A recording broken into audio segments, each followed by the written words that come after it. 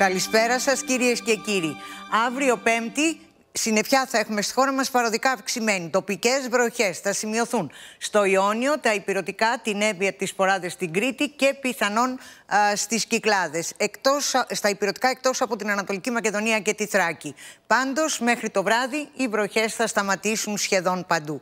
Οι άνεμοι θα πνέουν από βόρειες διευθύνσεις στο Αιγαίο 4 ε, με 6 και στο κεντρικό και βόρειο γεωτοπικά 7 μποφόρ, νότι στο Ιόνιο 3 με 4 μποφόρ. Η θερμοκρασία θα ανέβει το μεσημέρι στα βόρεια έως 18 βαθμούς και στην υπόλοιπη χώρα έως 20 με 22 βαθμούς. Στην Αττική η συννεφιά παροδικά αυξημένη με πιθανότητα βροχής κυρίως το μεσημέρι. Οι άνεμοι θα πνέουν βόρειοι 4 με 5 και στα ανατολικά 6 μποφόρ και η θερμοκρασία από 14 έως 20 βαθμούς. Συννεφιά και στην περιοχή της Θεσσαλονίκης Θεσσαλονίκη, εκεί η πιθανότητα βροχής είναι μικρή. Οι άνεμοι θα πνέουν ανατολική, νότιο-ανατολική, 3 με 4 μποφόρ και η θερμοκρασία από 14 έως 17 βαθμούς.